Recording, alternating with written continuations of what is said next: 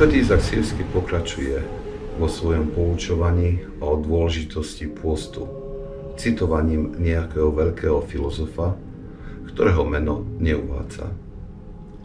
Dôležitejším pre neho bola múdrosť, ktorú slova filozofa obsahovali. Ak človek nasycuje svoje telo delikatesami, vydáva svoju dušu zápasu. A ak niekedy príde k sebe a začne sa nútiť k striedmosti, nemôže, pretože jeho duša bola zotročená potešeniami. Čerstva a meká výživa rýchlo vklada do duše žiadostivosť vášne. Potom smrť sa pre ňu stáva niečím bolestivým a stojí v hróze pred Božím súdom. Svetý Izak Sírsky cituje tieto slova filozofa preto, lebo potvrdzujú skúsenosť asketikov, ktorí sa usilovali o evaníliovú dokonalosť. Svorne hovoria, že kým človek neovládne svoje brucho, tak nie je schopný úspešne bojovať proti iným vášňam.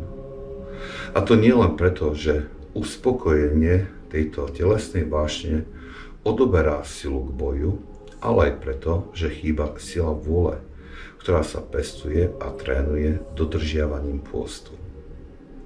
Tí, ktorí rozmoznali svoje telo nesmiernosťou v požívaní a vyberaní stravy, majú veľkú ťažkosť nastúpiť na cestu striedmosti a pôstu, aj keď prídu k poznaniu jeho dôležitosti. Taká veľká je sila tejto vášne. Môže sa nám zdať, že toto poučenie je príliš prísne a až cudzie nášmu vnímaniu života.